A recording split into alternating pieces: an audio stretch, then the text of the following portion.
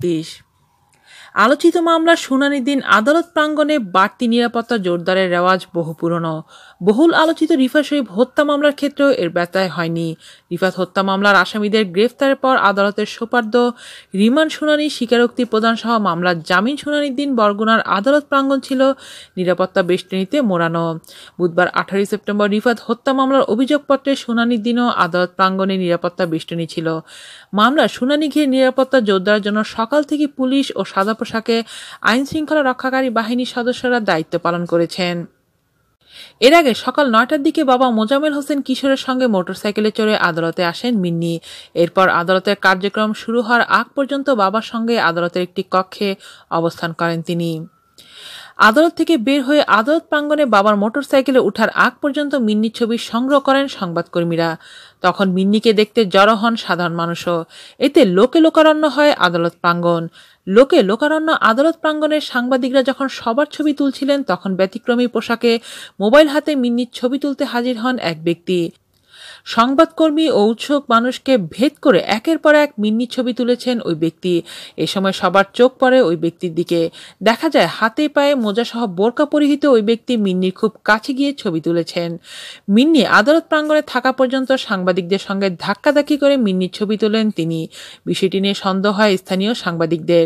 সর্বাঙ্গ ঢেকে মিন্নির ছবি তোলা ওই ব্যক্তি নারী নয় এবং পুরুষ এমনটি বলেছেন কেউ কেউ, তবে ওই ব্যক্তির পরিচয় জানা যায়নি। এমনকি স্থানীয় সাংবাদিক ও মিন্নির পরিবারের সদস্যরাও ওই ব্যক্তিকে চিনতে পারেননি। আদালতে পেশাগত দায়িত্ব পালনে থাকা কয়েকজন সাংবাদিক বলেন, অভিযোগপত্রে শুনানি থাকায় বুধবার সকাল নয়টার দিকে আদালতে উপস্থিত হন মিন্নি। আদালতের কার্যক্রম শুরু না হয় এজলাসের পাশে একটি কক্ষে বাবার সঙ্গে বসে থাকেন তিনি।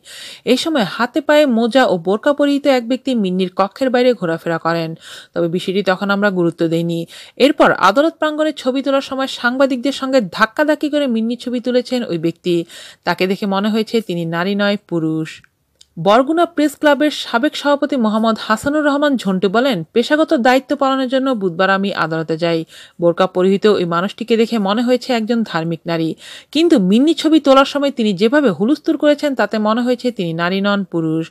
বিষয়টি খুবই সন্দেহজনক। তাই হাত, পা, মোজা ও বোরকা পরিহিত ওই মানুষটি কে তা জানা জরুরি?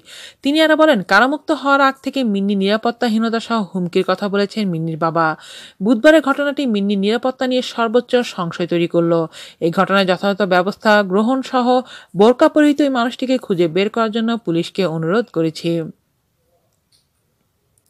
এ বিষয়ে মিন্নির বাবা মোজাম্মেল হোসেন কিশোর বলেন, আমি যখন মিন্নিকে নিয়ে আদালত থেকে বের হচ্ছিলাম, তখন বোরকা পরিহিত ওই মানুষটি মিন্নির কাছে এসে ছবি তোলা শুরু করে।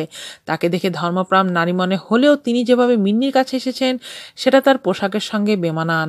আদালত প্রাঙ্গণে ওই ব্যক্তির কার্যকলাপ দেখে আমার সন্দেহ হয়েছে। বোরকা পরা হলেও ওই ব্যক্তি পুরুষ। নারী সে যে আমাদের ক্ষতি করার উদ্দেশ্যে এসেছিলেন কিনা, এটা জানা দরকার।